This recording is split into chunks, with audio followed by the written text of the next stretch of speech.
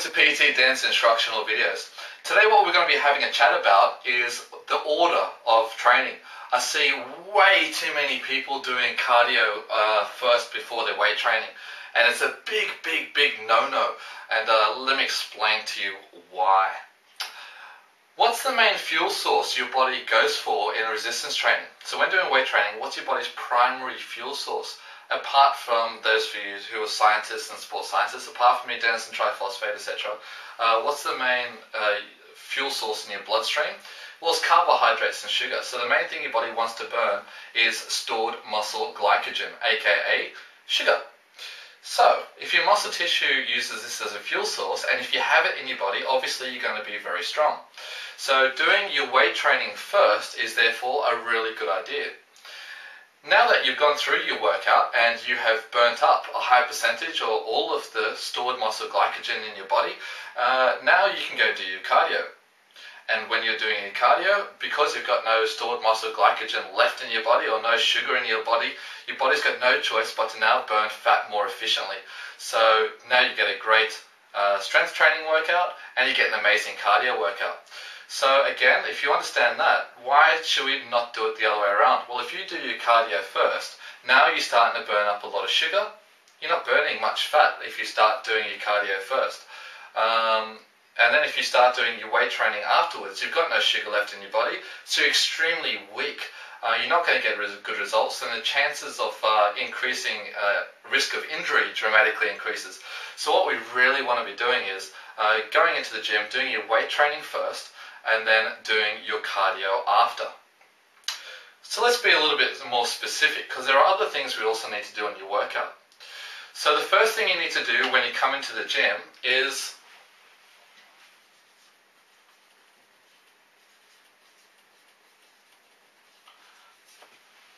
I don't consider this cardio. I consider this just a simple warm-up. See, basically what happens is, as you've been sitting around at work or at home or in your car to get to the gym, your skeletal muscle tissue isn't under an intensive workout. So your body takes all the blood from outside of your body and puts it back internally in your organs. Just doing three minutes of walking, your body now sends the blood from internally, sends it back outside to your skeletal muscle tissue. So it only takes about three minutes in order to do this. So you just do three minutes of walking. So this is you when you first come into the gym three minutes of walking on the treadmill. Now that you've gotten all the blood from internally to your skeletal muscle tissue, now you need to put it directly into the muscle that you're going to be exercising.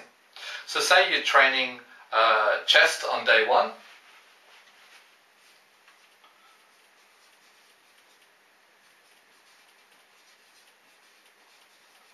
Your first set is high rep.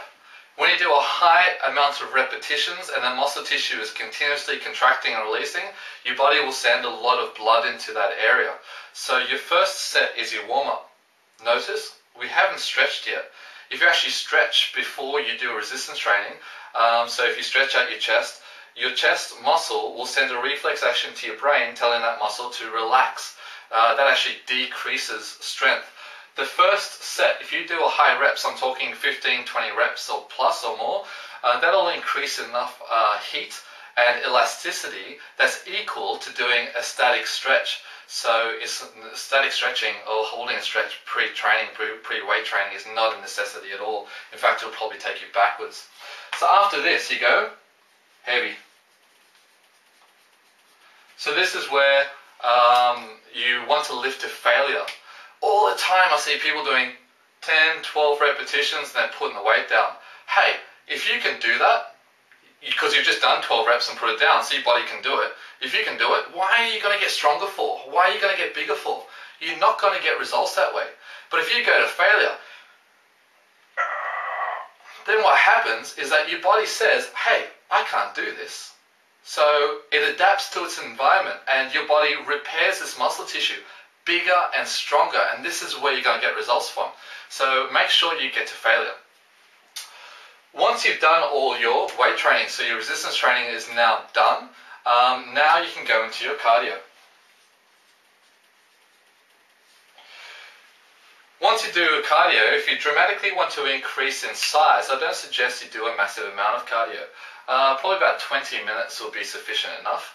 Because cardio is very catabolic. Uh, if you look at marathon runners, uh, they are extremely skinny, not because they've got no muscle tissue, but because they also have no body fat. So they've got no body fat, no muscle tissue, and that's why they're extremely skinny. Uh, we want to get lean and have no body fat, but we don't want to lose our muscularity. Because when you do cardio, your body can't break down fat at a fast enough speed to supply your body with adequate amount of fuel. So what happens is your body actually eats itself to survive, and you actually eat away uh, your muscle tissue. So you don't want to be doing too much of cardio if your goal is to increase in hypertrophy. Uh, but if you want to simply get lean, um, then this is a time to increase it to still only 30 minutes. Now, when we do our cardio, we've got to think about which exercises have we just done. So, for example, I strongly suggest that if you've just done a legs workout, you cycle. If you've just done a back workout, you row. If you've just done a chest workout, use a cross trainer. Um, try and pick some sort of cardio that replicates what you have just done. Uh, by doing that in your weekly training program or your training split, um, you are not hindering recovery. So if I've done legs on day one, day two, I should be recovering. So I don't want to be cycling on that day doing cardio because now I'm exercising my legs. When that on that day, I should be recovering. So make sure you're smart about what type of cardio you actually use um, in consideration to uh, what muscle you have just exercised on that day. Uh, once you have done your cardio, now it's time to do your core. So core, I'm talking about um, internal, external obliques, abdominis rectus, transverse abdominis, rectus spinae, multifidi, and all those muscles in this area that's responsible for uh, balancing coordination and strength. Uh, because if you train that first, you're going to need it here, you're going to need it there, you're going to need it there. So um, the chance of picking up injury dramatically increases. So do all your training and then when you don't need your core, um, smash that out last. Before you leave, stretch. Don't just stretch the muscles you've just used, go through a full body stretch every single day. That way, you're also stretching the muscles during this recovery period. Uh, flexibility plays a massive role when it comes to hypertrophy and size because, as you know, uh, getting nutrients to your blood supply um, and then getting your blood supply to your working muscle tissue is uh, absolutely vital because your recovery period is where you get results. So if your muscle tissue is tight and is clamping down on that bloodstream, then you are not getting a nutrient delivery to that muscle tissue and it can't recover well. If your muscle tissue is very flexible um, and it's very elastic, that means those muscle fibers are going to be quite loose and you can get a great nutrient delivery and speed up your recovery process and you're going to get much better results that way. So stretch your entire body every single day. Make sure you're as, as flexible as you possibly can. This is the basic ordering of your training program and this is what's going to get you some amazing results.